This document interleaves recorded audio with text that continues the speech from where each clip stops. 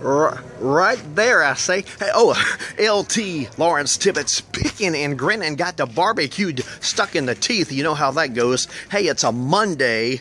Monday is all about barbecue. We're talking Doherty's Irish Pub and Restaurant, Apex, doing it right on Monday. A little bluegrass, and the chef is said, I'm gonna do something with barbecue awful special on Mondays.